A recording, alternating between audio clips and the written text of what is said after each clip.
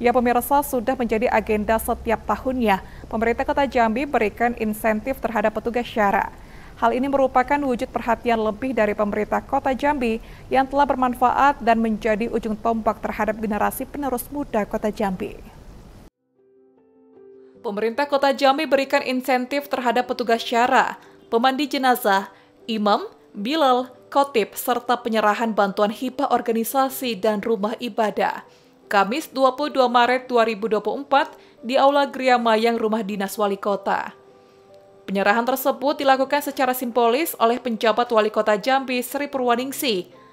Dari total keseluruhan ada sebanyak 1.708 yang mendapatkan bantuan insentif ini. Sri Purwaningsi mengatakan kegiatan ini dilakukan pemerintah kota Jambi dilaksanakan setiap tahun.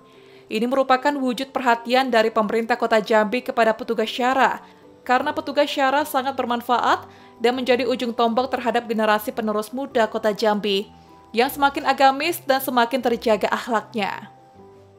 Teman-teman, Alhamdulillah ya siang hari ini pemerintah kota Jambi menyelenggarakan acara pemberian insentif kepada petugas muazin, khotib, guru pesantren, guru minggu, petugas eh, apa namanya pemandu jenazah dan penggali kubur. Kegiatan ini dilaksanakan oleh pemerintah Kota Jambi dalam setiap tahunnya.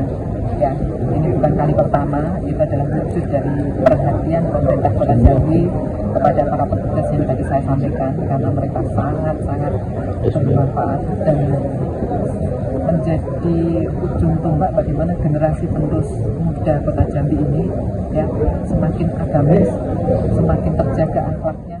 Sementara itu, Sri juga berharap agar dengan insentif ini bisa menjadi penyemangat dan bisa dimanfaatkan dengan sebaik-baiknya. Heru Syaputra, Cek TV, melaporkan.